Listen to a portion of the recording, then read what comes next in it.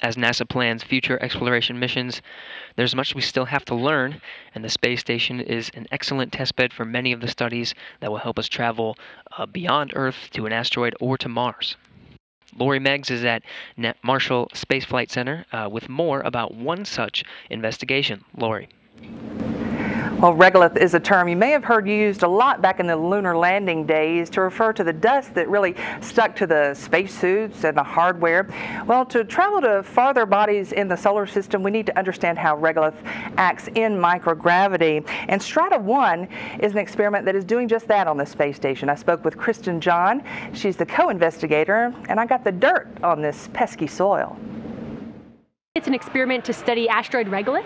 So regolith is basically the fine uh, dust and powder that you find on the surface of any atmosphereless body. So on the moon or asteroids or comets, they're covered with this, this regolith material. So we're interested in studying this. Oh, dead gummit. Jack Schmitt having a few problems.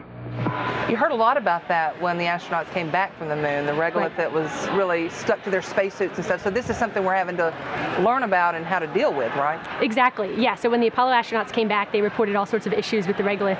It would get into their joints, it would interrupt with equipment and the space spacesuits, spacecraft, everything. So it's something we have to be considerate of. So why study it on the space station?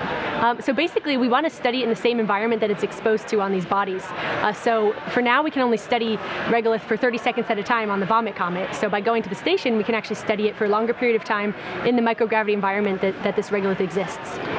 So when we say study it, what are we doing with it? Um, right, so we're actually basically just watching how it evolves over time. So we basically have four tubes that we're sending up to space station that are filled with different regolith simulants, and we're watching each one with a camera, and we're just watching what happens over time in the microgravity environment. So it's like having asteroids on the space station, right? Exactly, yep, that's what we're going for. We're very excited, and there's uh, surprisingly, there's a, a large number of scientists that are very interested in regolith from a scientific point of view and also from an exploration point of view. So there's a lot of people that are excited about about Strata 1 and future Strata missions as well.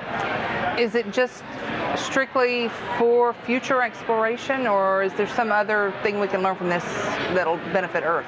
Yeah, so there's a lot. So there's not a lot of benefits necessarily to Earth, but there's a lot of benefits to science, to understanding this regolith from a scientific point of view, but also from an exploration point of view. So when we go to these bodies in the future, we have to know how to interact with them. Um, all these all these bodies that are covered with them, we, we need to anchor or attach to these surfaces because they have very low gravity. Uh, so we have to be able to interact with the regolith and understand how we'll attach to them or anchor anchor to the bodies. Uh, so so that's an important reason to study regolith. And so then it's a whole other ballgame when you find out what it really does, right? Exactly. Yep. And for more information on this and other experiments on the station, go to nasa.gov slash station and look under the Research and Technology tab. That's it for us. Now back to you at Mission Control in Houston.